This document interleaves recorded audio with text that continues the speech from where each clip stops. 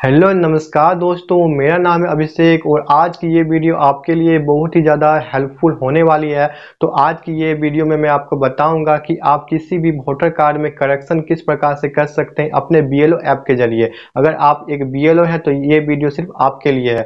अगर आप एक नॉर्मल पर्सन है तो ये वीडियो से आपको कोई फ़ायदा नहीं होने वाला है। लेकिन आप जानकारी के लिए देख सकते हैं, अगर आपके आसपास में बी है तो आप उनको बता सकते हैं। लेकिन अगर आप एक बी है तो इस वीडियो को पूरा ज़ोर देखिएगा। इस वीडियो में वोटर कार्ड में सुधार से रिलेटेड मैं सारी जानकारी देने वाला हूँ कि आप किस प्रकार से वोटर कार्ड में फ़ोटो चेंज कर सकते हैं, चाहे एड्रेस अपडेट कर सकते हैं, नाम सुधार कर सकते हैं, डेट ऑफ़ बर्थ, चाहे मोबाइल नंबर हो या फिर आधार लिंक करना हो, सारा कुछ मैं इस वीडियो में आपको बता दूँगा। तो इस वीडियो को पूरा ज़ोर देखिए। तो वोटर आई कार्ड में करेक्शन बहुत तरह का होता है, जैसे कि नाम सुधार डेट ऑफ़ बर्थ सुधार, एड्रेस में सुधार, फ़ोटो में सुधार, इस प्रकार का बहुत सारा है। तो एक ही वीडियो में कवर करना बहुत ही ज़्यादा मुश्किल हो सकती है, क्योंकि अगर मैं एक वीडियो में कवर करूँगा तो वीडियो बहुत ही ज़्यादा लंबी बनेगी। इसीलिए मैं इस वीडियो में मैं सबसे पहले नाम सुधार फादर नेम या फिर रिलेशन का नेम या फिर फ़ोटो या फिर एड्रेस, ये सारी जानकारी मैं बेसिक में आपको इस वीडियो में दूँगा। तो थोड़ी सी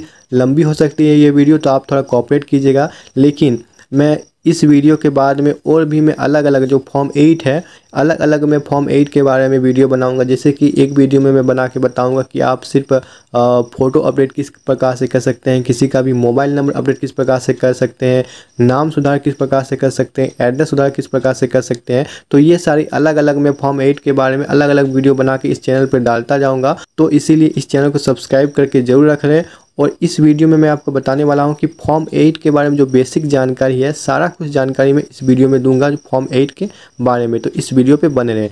तो बी एल ऐप को ओपन करने के बाद आपको क्या करना है? फॉर्म्स के ऑप्शन पे आ जाना है।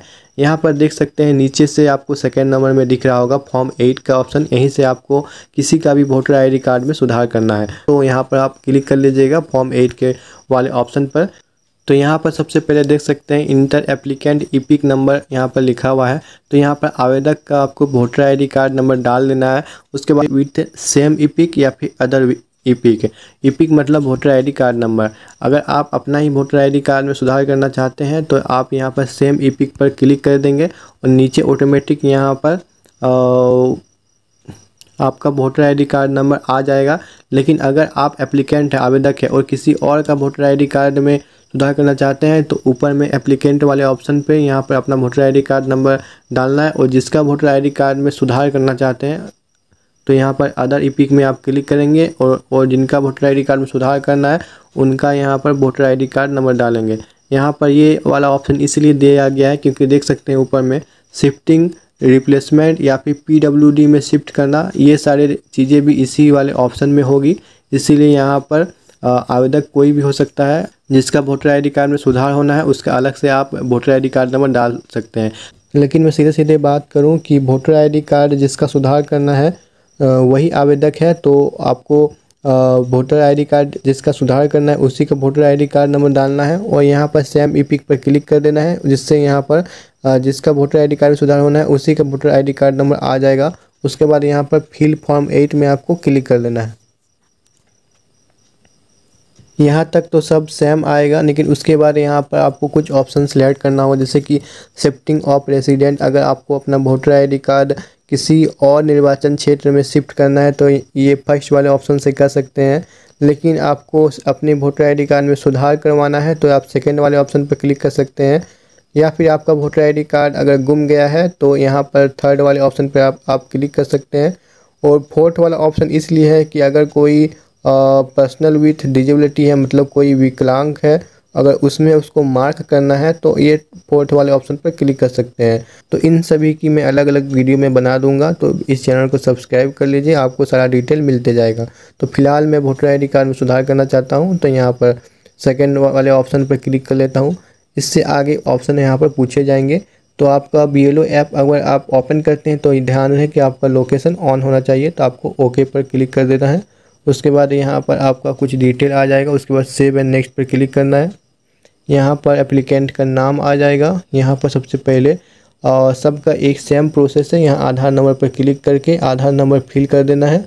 उसके बाद मोबाइल नंबर पर क्लिक करके सेल्फ वाले में क्लिक करके यहाँ पर मोबाइल नंबर फिल कर लेना है। अगर उन, जो एप्लीकेंट है, उनका पर्सनल मोबाइल नंबर नहीं है तो नीचे वाले ऑप्शन पर क्लिक करके उनका फादर या मदर का या फिर कोई अन्य रिलेटिव का मोबाइल नंबर डाल सकते हैं। ईमेल आईडी आप डाल सकते हैं।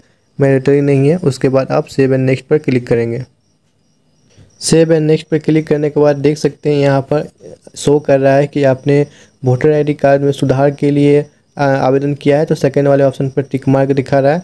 उसके बाद देख सकते हैं आप फॉर्म एट में इतना सारा चीज़ सुधार कर सकते हैं। इतना सारा ऑप्शन है। तो इन सारी की मैं अलग अलग वीडियो में बना दिया करूँगा। इस इसी चैनल में आपको सारी वीडियो मिल जाएगी। नोटिफिकेशन के थ्रू आपको मिलती जाएगी। तो बार बार मैं कह रहा हूँ इस चैनल को सब्सक्राइब करके ज़रूर रख लें तो फ़िलहाल मैं अभी आपको आ, किसी एक चीज़ में करके दिखा देता हूँ। जैसे सबसे पहले मैं नाम वाले ऑप्शन पर दिखाऊँगा। अगर यहाँ पर मैं नाम वाले ऑप्शन पर क्लिक करता हूँ नेम वाले ऑप्शन पर तो अगर हम मुझे नाम सुधार करना है तो देख सकते हैं नीचे में यहाँ पर ऑटोमेटिक नाम सही जो नाम है आपके आधार कार्ड में है चाहे जो भी आपका आप आइडेंटिटी प्रूफ देने वाले हैं नाम सुधार के लिए उसमें जो भी सही नाम है यहाँ पर फिल करने का ऑप्शन आ जाएगा। जैसे कि मैं यहाँ पर फिल करता हूँ अभिषेक तो यहाँ पर नीचे में क्लिक करेंगे तो ऑटोमेटिक ट्रांसलेट हो जाएगा। जो भी सही आ, हिंदी में ये, ये लिखा होगा जो भी शब्द सही होगा उसको आपको टैप कर देना है।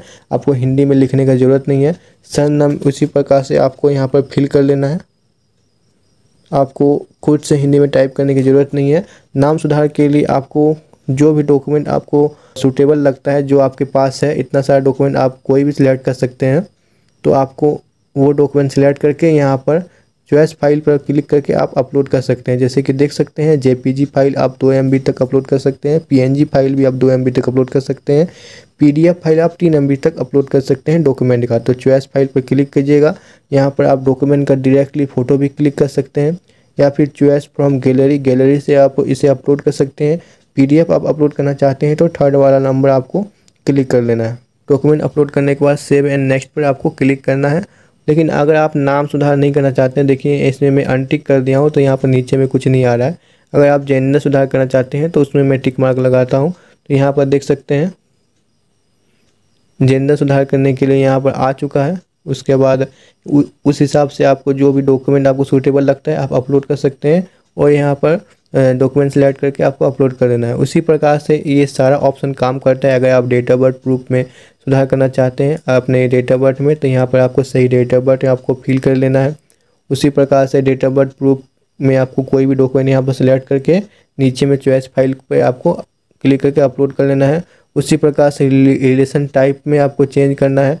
तो यहाँ पर रिलेशन टाइप देख सकते हैं, आपको अगर किसी का गलती से फादर की जगह हस्बैंड हो गया है या फिर हस्बैंड की जगह फादर हो गया है तो आप चेंज कर सकते हैं और रिलेटेड डॉक्यूमेंट आप सिलेक्ट करके अपलोड कर सकते हैं। उसी तरह से ये सारा काम करता है, लेकिन जो मोबाइल नंबर वाला ऑप्शन है, अगर आप यहाँ पर टैप करते हैं तो आपको यहाँ पर सिंपली मोबाइल नंबर टाइप कर देना है और सेव एंड नेक्स्ट पर क्लिक कर देना है। यहाँ पर आपको कोई भी डॉक्यूमेंट अपलोड करने की ज़रूरत नहीं पड़ेगी। उसी प्रकार से फ़ोटो भी है। फ़ोटो में आप, अगर आप अपडेट करना चाहते हैं तो यहाँ पर फ़ोटो पर क्लिक करके चॉइस फ़ाइल पर क्लिक करिएगा।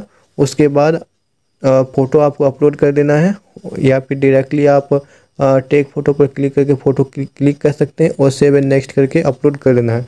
अब इतनी सारी ऑप्शन आपको दिखाई दे रही है। आप कोई सा भी ऑप्शन यहाँ पर क्लिक करते हैं, जो प्रोसीजर होगी यहाँ पर आपको मैंने बता दिया। उसके बाद सेव एंड नेक्स्ट करने के बाद ये कोई सा भी ऑप्शन पे आप क्लिक करके सेव एंड नेक्स्ट करते हैं। एक ही आपको फॉर्मेट मिलेगा इसके बाद, जो कि मैं बता बता देना चाहता हूँ। जैसे कि मैं मान लीजिए फ़ोटो अपडेट करना चाहता हूँ तो मैंने फ़ोटो पे क्लिक कर लिया। चॉइस फ़ाइल पर क्लिक करके मैं फ़ोटो सबसे पहले अपडेट कर लेता हूँ।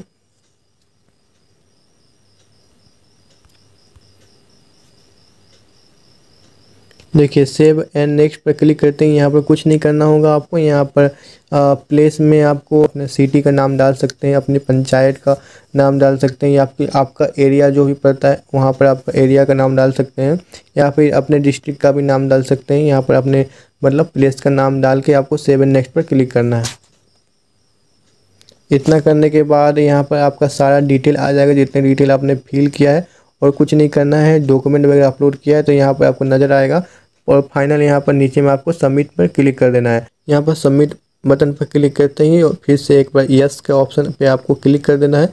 इतना करते ही देख सकते हैं, यहाँ पर आपको एक टोकन नंबर बोल सकते हैं, चाहे एक्नॉलेजमेंट नंबर बोल सकते हैं, ये आपको मिल जाएगा। इसको आपको स्क्रीनशॉट कर लेना है सबसे पहले। उसके बाद आपको जो बी एल ओ रजिस्टर आपने बनाया हुआ है, उसमें जो आप रिकॉर्ड मेंटेन करते हैं फॉर्म सिक्स सेवन एट का, उसमें आपको एप्लीकेंट का नाम और उसका मोबाइल नंबर अप्लाई डेट और ये एक्नॉलेजमेंट नंबर वहाँ पर लिख लेना है ताकि बाद में कोई दिक्कत ना हो।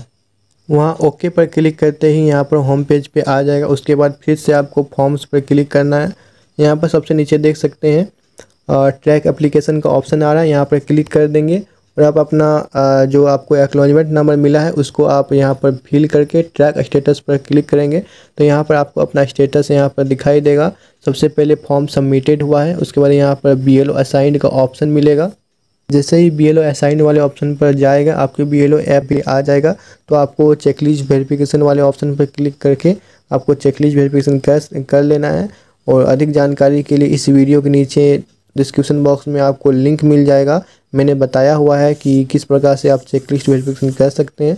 तो आपको कर लेना है चेक लिस्ट वेरिफिकेशन उसके बाद यहाँ पर और फाइनल में एक्सेप्ट हो जाएगा अपना, आपका एप्लीकेशन और आपका जो वोटर आईडी कार्ड है बाई पोस्ट एप्लीकेंट का जो वोटर आईडी कार्ड है बाई पोस्ट उसको भेज दिया जाएगा। तो इस प्रकार से आप ट्रैक भी कर सकते हैं। तो मुझे आशा है कि आपको ये वीडियो ज़रूर पसंद आई होगी। आपके लिए ये वीडियो ज़रूर हेल्पफुल रही होगी। अगर आपको ये वीडियो पसंद आई तो ये वीडियो आप दूसरे बीएलओ के साथ ज़रूर शेयर करें ताकि उनके प्रॉब्लम का भी सोल्यूशन हो सके। और अगर आप इस चैनल पर नए आए हैं तो इस चैनल को सब्सक्राइब ज़रूर करें ताकि हाँ। मेरी आने वाली वीडियोज़ की नोटिफिकेशन आपको सबसे पहले मिलती रहे। तो मिलते हैं नेक्स्ट वीडियो में। Thank you